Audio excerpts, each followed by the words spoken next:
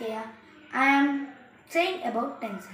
There are three types of tenses. Number one, present tense. Number two, past tense. And last but not least, and future tense.